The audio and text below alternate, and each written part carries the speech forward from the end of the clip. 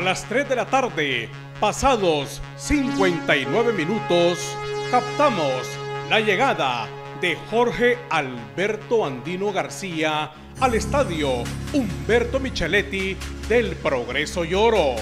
Jorge es un joven de 30 años privado del sentido de la vista desde su nacimiento, discapacidad que no es un obstáculo para que en cada partido suba 20 gradas del sector de preferencia del estadio hasta llegar con mucho esfuerzo y voluntad a la parte alta a ubicarse en la cabina de radio de Extrema FM, donde en compañía de Mauricio Pavón instala el equipo que consiste en una consola, micrófonos y computadora para entrar en acción en los juegos donde actúa el equipo Honduras Progreso.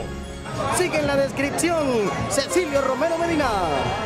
Jorge Andino es voz comercial y aporta comentarios a lo largo de las transmisiones. Es interesante el trabajo porque eso permite estar en sincronía con los compañeros. Una, para llevar el tiempo exacto o a recordarles a veces a los narradores de que es el tiempo de comerciales.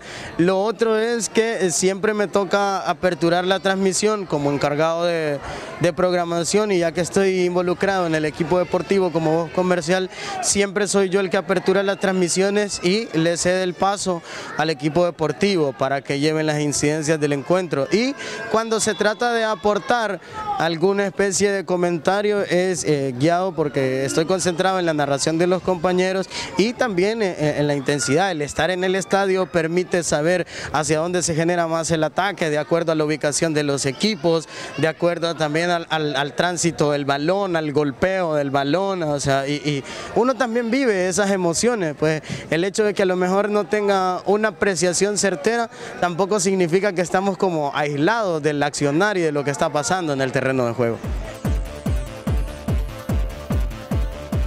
Jorge Alberto planifica, implementa, monitorea y evalúa toda la programación de la radio donde labora.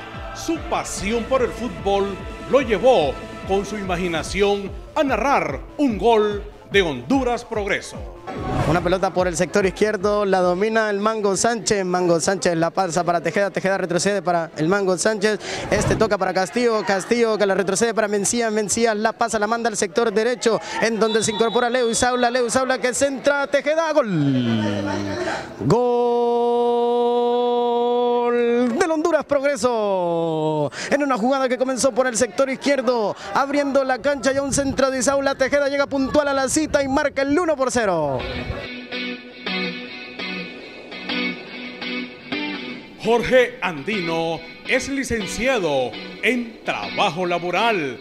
Fue candidato a diputado por el Pino por el departamento de Lloro en el año 2013.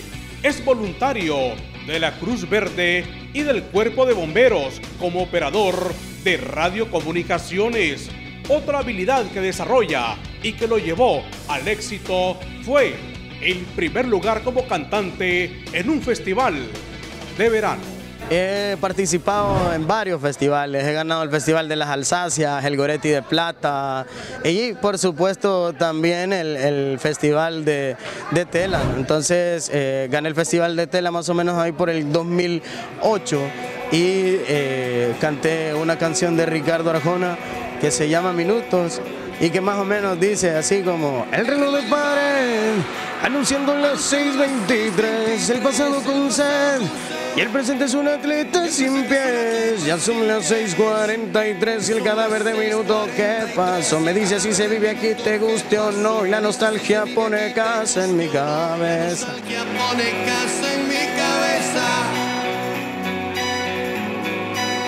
a las 6:50.